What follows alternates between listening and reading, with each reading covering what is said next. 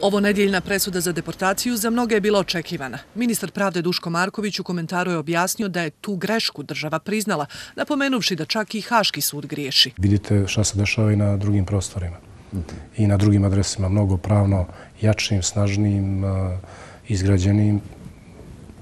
Mislite na presudu u Hagu? Naravno. U civilnom sektoru nemaju jedinstven stav o tome koliko će posljednja kontroverzna haška presuda Gotovini i Marka uticati na dalji rad nacionalnih sudova. Presuda koja je uništila zadnju mogućnost da Haški sud dobije bilo kakav kredibilitet i mi, nažalost, dolazimo na pozicije koje nisu mnogo daleke od onih 90-ih. Ako su i nekakve greške urađene u nekom predmetu, to ne znači da one treba se ponavljaju u drugom.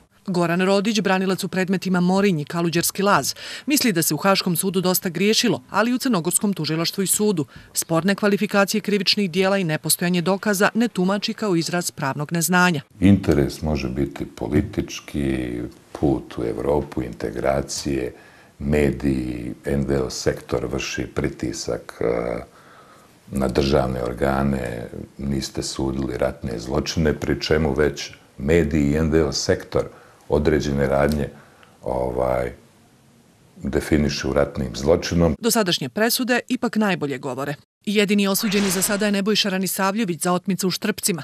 Postupak za Morinj vraćen je na početak. Apelacijuni sud oslobodio je mlađena govedaricu iz Latka Tarlea. Apelacijuni sud odlučivaće i u postupku za deportaciju bosansko-hercegovačkih izbjeglica 92. pošto je Podgorički viši sud optužene oslobodio.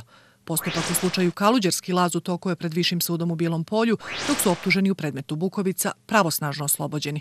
U građanskoj alijansi nemaju nadu da će pravda biti zadovoljena nikada sve presude budu konačne. Svi nalogodaci će se izvući, svi inspiratori će se izvući, a ponegdje će samo poneki e, puki izvršioc tih zločina odgovarati. Goran Rodić oslobađajuću presudu očekuje u predmetu Kaluđerski laz jer tvrdi da tužilaštvo nema dokaze.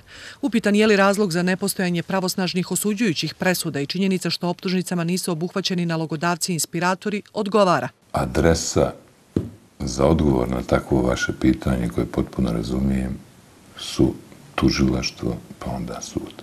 Tužilaštvo i sud svakako imaju još puno posla i nimalo prava na grešku.